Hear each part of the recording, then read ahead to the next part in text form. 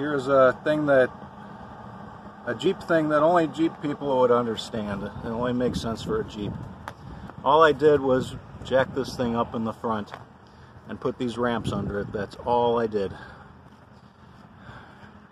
But look what happened back here. The, the wheel climbed up my tire stop. I guess the sunlight is not cooperating right now. It's been in my eyes all morning.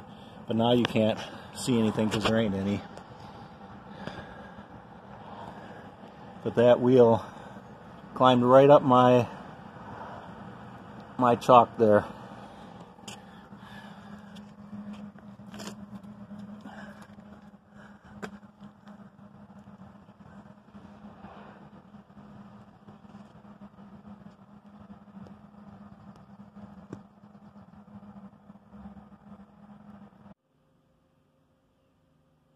Add this to the list of reasons why I only buy made in USA cotton shirts.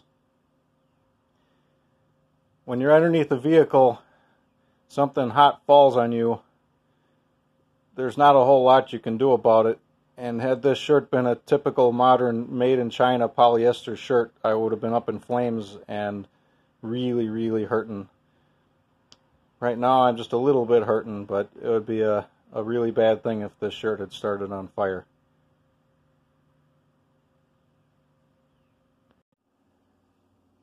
I've got this Dymo tape writer 1350. Somebody gave me, oh, probably a decade ago or so. Because it didn't work, what it wouldn't do is it, it wouldn't advance the tape. Uh, so he gave me this and, and some accessories and things.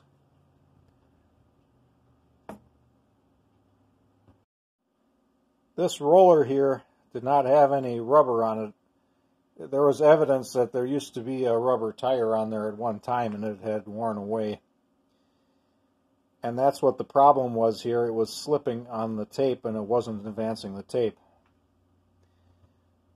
And I tried to disassemble, well, I started to disassemble this thing, and I got part way into it and decided that everything's going to come apart and I'm not going to want to put it back together because it's a disaster the way this thing is assembled. It's probably fine when you put it together the first time, but to take it apart and put it back together again at this point is not something I really intended to do. So what I did, and it's really ugly, let me zoom in here.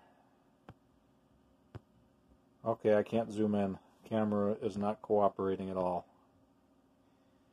Anyway, all I did was I took a pencil tip and I dabbed some Plastidip on here and, and turned it and kept kept dabbing it on there. And it's a little ugly right now. It's kind of worn away because I had some other issues with the tape getting jammed down here. And so the wheel was, uh, the rubber was getting torn off the wheel. The problem down here is that modern cartridges uh, don't have the tabs on the side to fit in this mechanism down here. What happens is when you pull the trigger, it's supposed to push the cartridge back to ease the tension on the tape, and then the tape advances, and then the cartridge goes back the other way. Well, this cartridge doesn't lock in there this way. The new ones just don't. And I've got, even got some old ones that are probably 30 years old now that uh, they don't lock in either, so I don't know when they changed that. Or maybe there's a maybe there's something else like a carrier you're supposed to put this in before you snap it in there. I don't know. In any case, it does work now.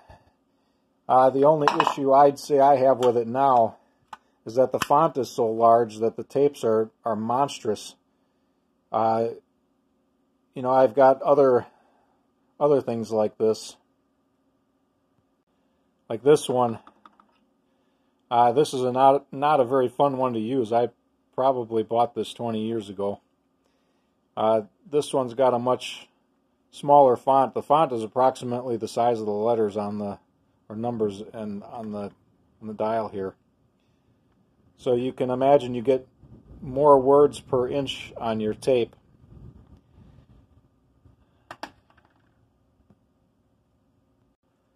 I've also got this one. I've had this thing for I don't know, 35 years or more. I bought this brand new at uh, Drug Emporium. Drug Emporium's been out of business for, for decades. Um, this one is, was stored in a box for a long time, and the the uh, font disc here is missing some teeth, so so it's pretty useless now unless I find another one of these font discs or just buy a whole new one and, and rob the disc out of it. Um, you can find these things used on eBay. That one is the nicest one to use, but this one works pretty well too when it's working. Uh, like I say, the only issue with it is the, the font size. Also, there's a, a, manual advance here that you can use to advance the tape, and that is stripped out. I don't really care about that. I I can advance it with the uh, with the trigger like normal. I do have some other font wheels for this thing, and you would think by looking at this that that's a smaller font, but it doesn't really work that way. This is a vertical font, which is handy to have. I don't. Uh, I don't normally make vertical tapes though, so.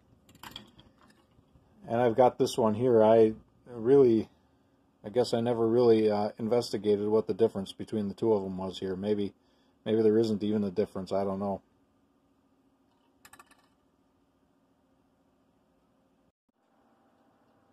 Something I probably should have been doing here during the quarantine while I had the opportunity was re-roofing this building. Uh, the shingles are in really bad shape. And every year I've got to go up on the roof and put a whole bucket of roof sealer around where this pipe goes out the roof. It's not necessarily leaking around the pipe, but the roofing around it is pretty well torn. I guess it's going to be impossible to see it here on the camera, but I can hear it. It's dripping onto the, the ceiling in here right now. It's raining pretty good. It's not yet dripping in the usual place here. But either way, that's a that's kind of a big problem. Unfortunately, you know, by the time I realized I was going to have enough time to do that, we started having real rainy weather here, and there really wasn't a good opportunity anymore. I don't have anywhere to store the roofing materials I would need. I have to replace all the decking and all the shingles. So I'd have to store all that place until I can do the job, and I, I really can't plan on doing that at this time of year. You can hear that. You can hear it hitting the top of that plywood there right now.